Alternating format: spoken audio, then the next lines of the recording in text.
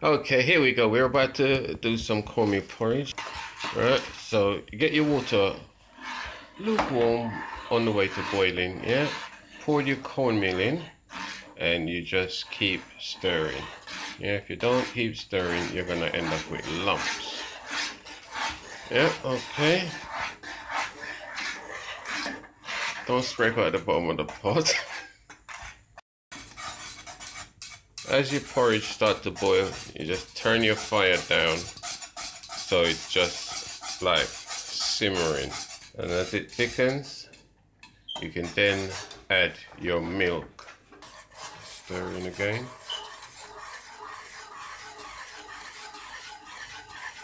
Okay, once it gets to the boil and you're giving it a good stir, you just put your lid on turn your fire down so it's just simmering. And just leave it for about three minutes. And then you check it again. That's when you add all your ingredients. Okay? We're going to show you that when we get to that stage. Okay we have vanilla. There you go. See it? Just a little dash. Put that in there.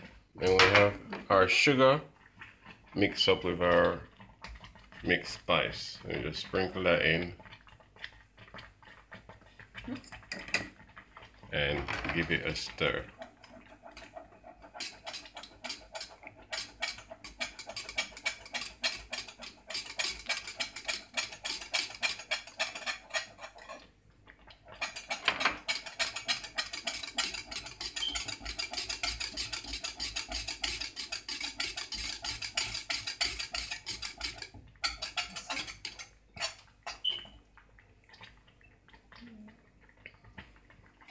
You want to put the rest of that in? I'm going to taste it first. At this point, you can add this.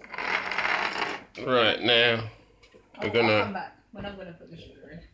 We've put all of our bits and pieces in, and then we're gonna just let it do its thing, and then afterwards, if we need more, we'll chuck the rest in, and add a pinch, a pinch, not a dose, a pinch of salt. Yeah. Okay. Okay, after you've had your ingredients and everything, you're gonna let it simmer. When you taste your porridge, if it tastes a bit grainy, yeah, then it needs to cook for longer. When it tastes smooth, then you know it's finished cooking. You can also use Carnation milk, or you can add single cream to it, which will give it like a smoother texture and a more mmm, yum yum yum. Okay, so we're just gonna put our lid back on here and just leave that. Let it simmer for another three minutes each time and then check. Yeah, so remember, all about that taste, about that taste. Okay, and here we are. There's our porridge finished cooking. Are we gonna dish it out? All we're gonna do now, dish it out. And it's good as gold. I've tasted it and it is yummy, yummy, yummy, running running, running my tummy. Okay?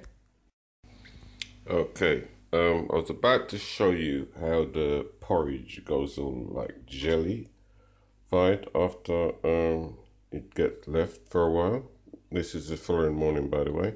And as you can see, it's all gone, all been eaten.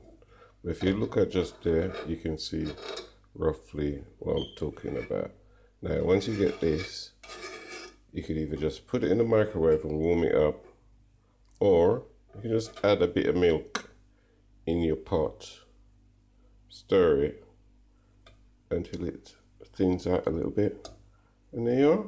Or you can just eat it just as it is. Hmm? No problem. Nice. Mm, actually, excuse me. I'm about to eat.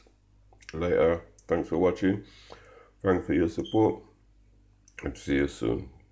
Sorry about speaking with my mouth full. Here you go. Gotta do what you gotta do. Right, one last thing. You see when you scrape out your pot and you get all this bit at the um bottom, and you scrape it out. Trust me. Sometimes these are the nicest bit, yeah? Okay.